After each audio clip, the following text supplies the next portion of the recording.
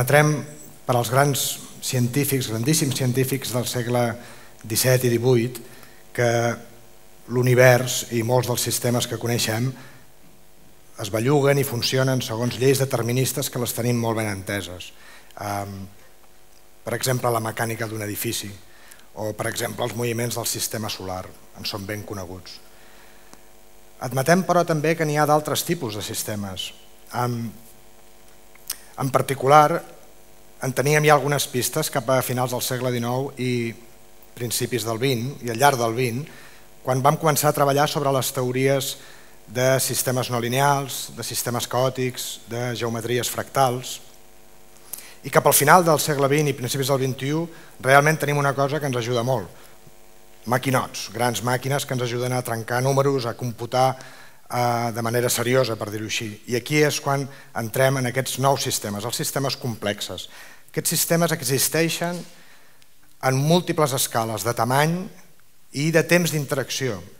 Sempre involucren multiplicitat de nodes i interaccions no trivials, links, enllaços, entre aquestes unitats que actuen en segons, minuts, a vegades en mil·lisegons, etc.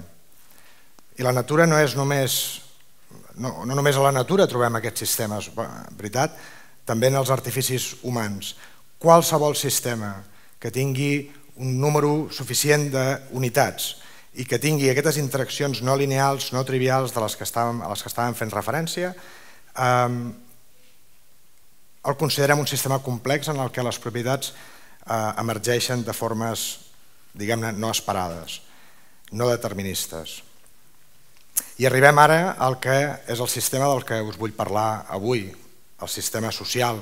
És el sistema complex per excel·lència, potser juntament amb alguns altres, veritat? Ja fa segles que s'estudia, no, no, no vindrem ara a dir que l'hem descobert nosaltres, els sistemes socials. Um, és un sistema que ens interessa, tornem-hi, a múltiples escales, des de les unitats familiars, on tenim persones que interactuen, la dinàmica en una classe d'una escola, potser unes desenes, una gran empresa, centenars, milers de persones, i avui en dia, amb aquesta revolució comunicativa, arribem potser als centenars de milions, quan agafem Twitter i tenim 300-400 milions d'usuaris, o als milers de milions quan agafem Facebook i tenim uns 1.200 milions d'usuaris. Imaginem-nos quina mena de dinàmiques es poden crear a totes aquestes escales i en diferents temps. I justament arran del que deia, Twitter, Facebook, etc., no és només que, que l'objecte sigui fascinant en si, és que tenim avantatges afegides o interessos afegits. D'una banda, tenim el fet de que aquestes, aquestes noves xarxes, aquestes noves eh, eines ens donen oportunitats diferents. Han canviat la forma de comunicar-nos. Aquesta immediatesa, la multimodalitat, rebem informació de Facebook, veiem un vídeo a YouTube, després el compartim a Twitter. La immediatesa, com deia, i el segon component, i aquest és en el que jo treballo, en aquest és el que sóc expert, o intento ser-ne, que és el de la disponibilitat de les dades és que aquestes xarxes no només són interessants perquè són grosses, sinó perquè en disposem de tot el que volem. Sabem qui ha dit què, a qui li ha dit i quan li ha dit. Podem, tenim aquest objecte, el podem posar en ordinadors, el podem posar diguem-ne damunt la taula per realment disseccionar-lo i mirar d'entendre'l fins i tot en el temps. I és clar, ara que el tens damunt de la taula, on abans hi havia especulació, havíem d'imaginar com devien ser les coses. Ara tenim dades i el que podem fer és dir si aquest sistema s'assembla a algun altre sistema que nosaltres coneguem, funciona per algunes regles que puguem arribar a entendre. I aquest és l'exercici que fem avui aquí. En particular, d'aquests altres sistemes que a mi m'interessen, justament a mi el que, el que vull destacar avui és el sistema, els ecosistemes mutualistes. En aquests ecosistemes, com veiem en aquesta imatge, la idea és molt senzilla. Tenim espècies, insectes, que visiten flors, i, i evidentment es diu mutualista perquè existeix alguna forma de benefici mutu, és obvi. L'insecte visita la flor per treure'n aliment i la flor també en treu un benefici perquè aconsegueix disseminar-se per la zona, aconsegueix que l'insecte reparteixi per una zona determinada la seva llavor. Aleshores, clar, ens hem d'aturar una mica, no? si volem fer una comparativa, si volem establir a veure si hi ha alguna mena de paral·lelisme, anem a intentar entendre aquests sistemes mutualistes. si no tinc més informació, si ningú em diu res, si no tingués eh, accés a cap dada, la meva hipòtesi més plausible quina podria ser? Com, com visiten aquests insectes? Quins patrons segueixen? Com sap un insecte quina flor ha de visitar?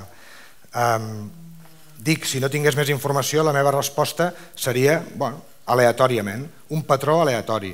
Simplement una papallona doncs, circula, troba una flor, la visita i després una altra. Ara bé, hem parlat abans de què són els sistemes complexes. No és només els nodes que importen, el que realment importa és la interacció. I aquí n'hi ha unes de molt marcades d'interaccions, veritat?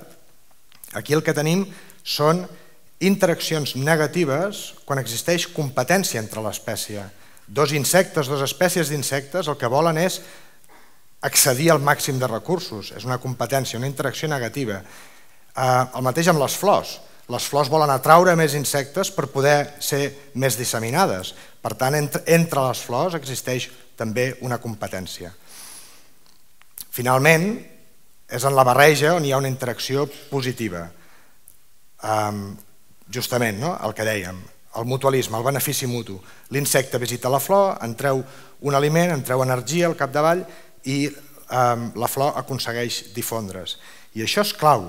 Aquestes interaccions negatives i positives fan que no, no, no observem patrons aleatoris de visita, sinó que al revés. Aquestes forces, podríem dir, aquest acoblament, dirigeix, empeny el sistema cap a l'emergència d'algun patró. I quin és justament aquest patró? Aquest sí que és el que observem a la, a la realitat. No? Quan anem al camp i observem aquests insectes i flors, el que observem és el patró aniuat, emergeix de forma natural, sense una direcció, sense un disseny previ, existeix aquesta forma d'interacció. I què destaquem d'aquesta forma d'interacció? Doncs justament destaquen moltes coses, però n'hi ha un parell que us vull destacar. És l'existència de generalistes, s'entén per generalista, en el cas de l'insecte és el que li va bé qualsevol flor, no li importa, les visita totes. D'acord? I en el cas de la flor, la flor generalista és aquella que s'hi posa bé perquè qualsevol insecte la visiti a ella. D'acord? Aquí en, la, en, aquesta, en aquesta gràfica seria l'insecte que queda a dalt de tot, ja ho veieu, interactua amb totes les flors, i la flor que queda més a l'esquerra, que totes el visiten. I tenim uns altres protagonistes, els especialistes.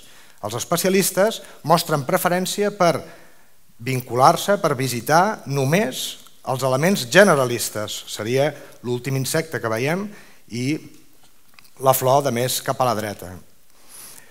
Bueno, és un patró curiós, no és, és més bonic que l'aleatori, l'aleatori anava per qualsevol lloc, aquest és una mena d'esglaonament, però no és un problema d'estètica això, perquè el sistema s'ha conduït, ha evolucionat cap a aquest patró. Doncs bé, els estudis ens diuen i el que la investigació ens diu és que aquesta estructura en particular és òptima en algun sentit per tot el sistema perquè minimitza la competència i maximitza la supervivència. És a dir, que segueix existint competència, per exemple, entre insectes, però aquesta forma de repartir-se les visites fa que competeixin menys, es molesten menys, i eh, el mateix per les flors. I maximitzar la supervivència, aquí no parlem tant de que sobrevisqui un insecte o un altre, sinó que sobrevisqui el sistema. És bo pel sistema com un tot. Molt bé, interessant, és fascinant de fet això, no? Però jo he vingut aquí a parlar de sistemes socials i en particular sistemes socials online, com ens comuniquem online. La pregunta és la mateixa. Jo tinc un sistema social, ara no tenim papallones, tenim usuaris, no tenim eh, floretes, tenim hashtags, paraules clau, i la pregunta que ens fem aquí és, bueno, observaríem el mateix, podem observar el mateix, quina és la dinàmica comunicativa, com la forma d'interactuar usuaris amb hashtags determina la dinàmica, la forma en què ens comuniquem. És clar, per això ens cal saber alguna cosa més, o almenys tenir alguna hipòtesi més. No? I aquí és on ens centrem en el, en el famós llibre de, de, de Dawkins, Richard Dawkins, El gen egoista, i en aquest llibre, que és bàsicament de genètica, al final de tot hi té una hipòtesi molt agosarada i molt, molt atractiva, que és el que s'ha anomenat la teoria memètica dels mems. Un mem és una idea, un concepte. I ell el que fa, aquí Dawkins el que ens diu és que els mems tenen, igual que els gens, una fitness associada. Aquesta paraula fitness simplement vol dir que com més alta la tens, més ben adaptat estàs. En el cas dels mems, de les idees, de les paraules clau, una fitness alta voldrà dir que és més fàcil que sigui propagada, copiada de cervell en cervell, difosa, que és el que observem en els fenòmens, per exemple, virals. En aquestes, en aquestes gràfiques que he posat a dalt serien idees que han viatjat lluny. I després, evidentment, tenim mems que són poc atractius, no tenen potser les característiques que haurien de tenir, la seva fitness és baixa, moren aviat, es comuniquen però simplement no tenen capacitat de ser copiades de cervell en cervell. I això vol dir una cosa molt important, que no tots els símbols, no tots els mems són iguals. La fitness els distingeix per més útils, per més bonics o menys, etc.